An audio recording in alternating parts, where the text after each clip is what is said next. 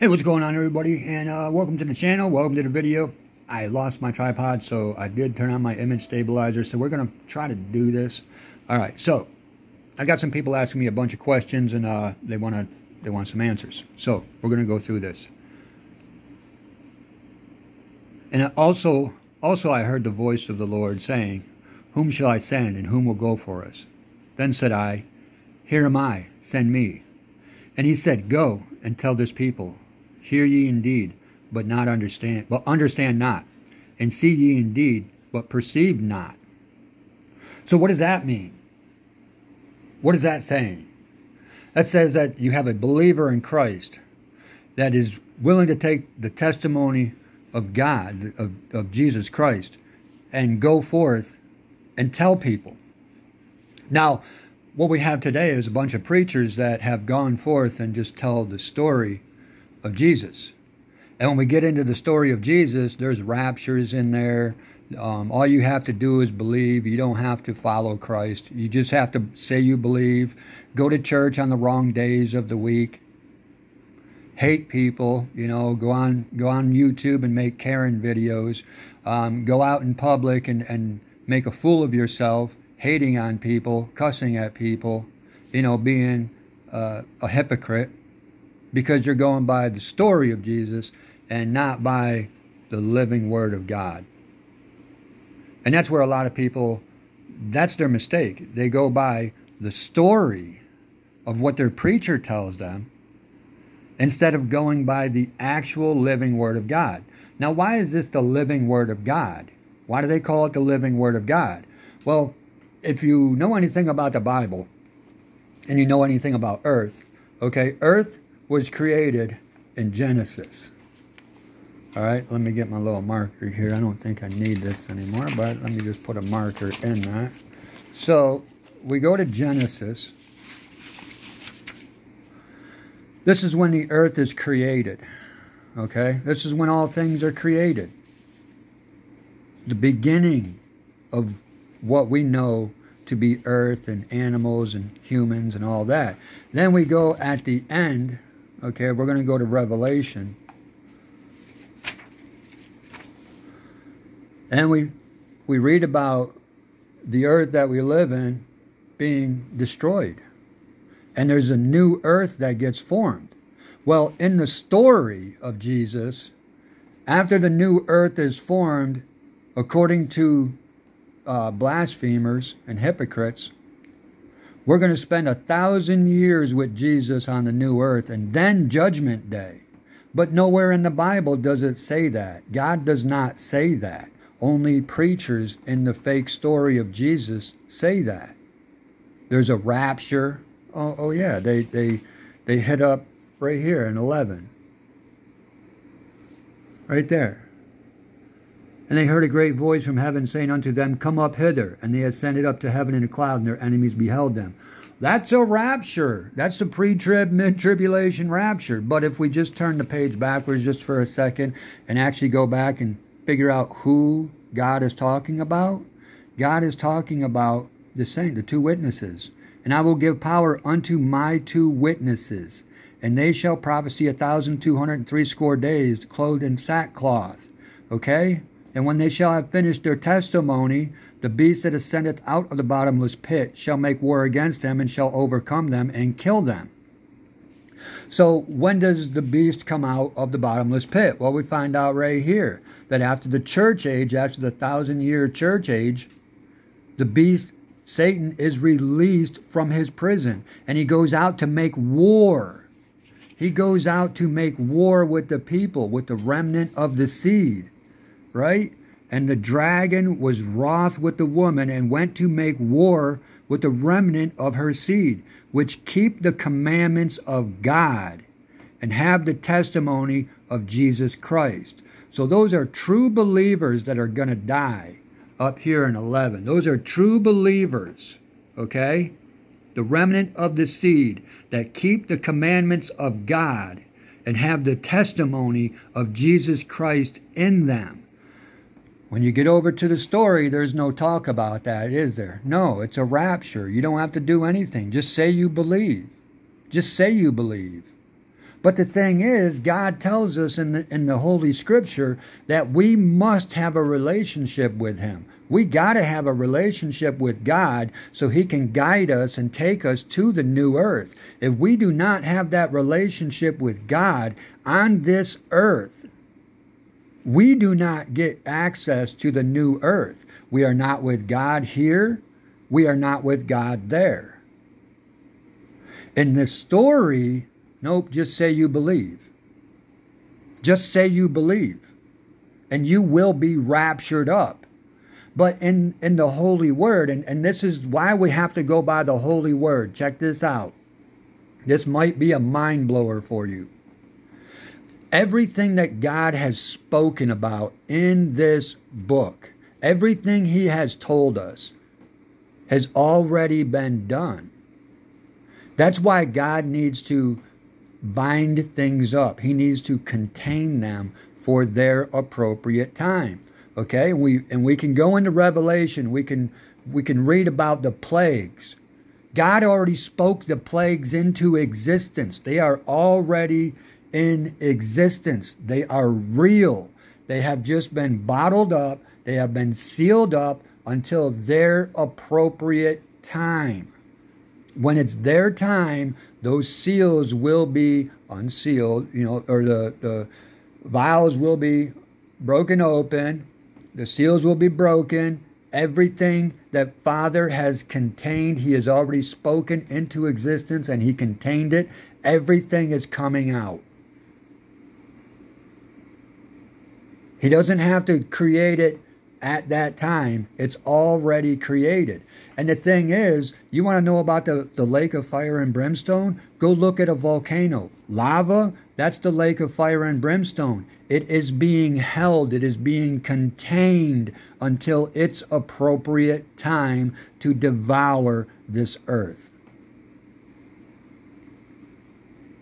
To devour this earth and that's where all of the fake ones that only believe the story of Jesus and not the word of God, all the fake hypocrites out there, the fake Christians, the one that go they go and they worship on the wrong days of the week, Sunday and Wednesday, wrong days of the week, homie. What are you doing? That's blasphemy. You're going against the word of God. You're going against the word of God when you come in and you say that there's a pre-tribulation, pre-tribulation, mid-tribulation rapture, all because of this. And God already told us Christ returns on the last day at the last hour. And what does it say there? In the same hour was there a great earthquake. Oh, it's the last day of earth's existence. The second woe is past, and behold, the third, third woe cometh quickly. There's only three woes, and the third woe is Armageddon, Judgment Day. That's the third woe. Total destruction. That's the third woe. So, how is it that the second woe is done? This just happened, but yet people go by the story of Jesus and say, oh, there's a rapture. Well, we can come over to Revelation 12:4, and his tail drew the third part of the stars of heaven, and did cast them to the earth. And the dragon stood before the woman which was ready to be delivered, for to devour her child as soon as it was born. Okay? Now, this is what the devil is doing today. Now, look at all these people that are going out there. Oh, you can be any type of sex that you want. You can be transgender, you can be multigender, you can be fluid gender, whatever. It's whatever you want to be. That's the devil going to make war with the children because the children are innocent and, and they don't know any better.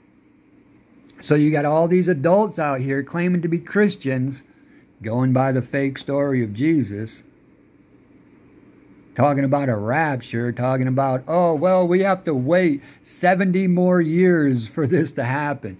No, Google September 23rd, 2017, and you'll find out this happened that day.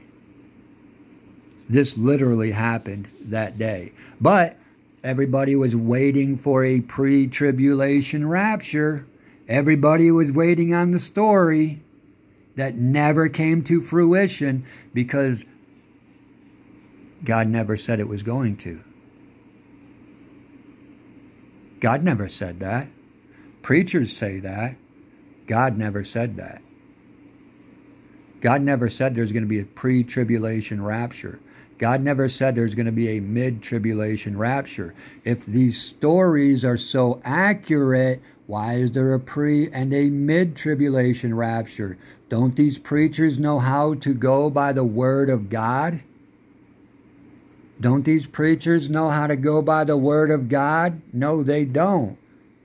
Look what happens to the preachers and everybody that follows the preachers talking about a thousand year reign on the new earth with Christ, and then there's a there's judgment, uh, pre-tribulation, mid-tribulation. What happens to them?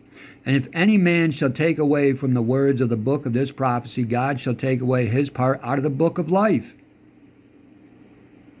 So the people that are going by this story and not God's word, their names are taken out of the book of life. And they want to go around and tell people that, oh, I believe, I believe, I believe. But when I come around and I say, hey, God sent me, He sent me to tell you this. Who do I think I am? Someone from the Bible? Yeah, I do. We all are. Because this Bible is about this earth and this earth only. It's not about Mars. It's not about Jupiter. It's not about the new earth. It's not about Neptune.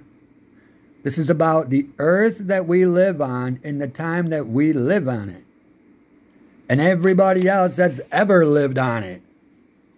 The history is right here. And it's God's word, it's all truth. You come over to the preachers, and they got a lot of lies. They got a lot of lies. Why is that? Now, there's many, many, many people out here in the world that are really confused today. They don't really know what's going on. It's because they never got into the Bible and took God for discernment. You need a relationship with God, not with your preacher. You guys understand that? We need the relationship right here, right now with God every single day. Every day. But people only go on Sundays and Wednesdays, two wrong days of the week. They never they never worship on the Sabbath, which is hypocritical of them, makes themselves hypocrites. Who goes and worships on the wrong day and then says that they're walking with Christ? A liar. That's who says that.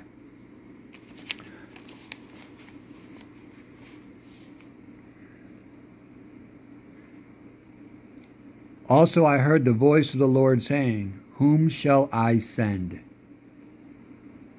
And who will go for us? Then said I, Here am I, send me. That's what I said to the Lord. That's what I said to God. Send me, God. I'll go. I'll tell him. I'll talk to him about you. I'll tell him all I know about you. You've shown yourself to me numerous times. I know you're real. I know the kingdom of God is real. I've been there. But I'm not stating the same thing that you guys are stating in the story. And Father told me, go tell him. Go tell him. He said, Go and tell, his, tell this people, Hear ye indeed, but understand not. You guys are hearing me, but you don't understand me.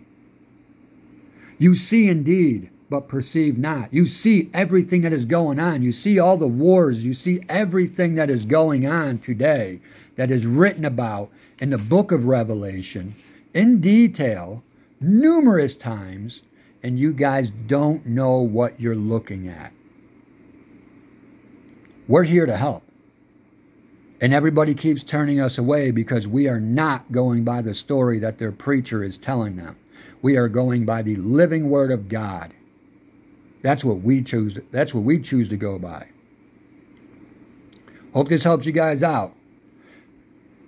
You can go by the story, the fake story, and go worship two wrong days of the week.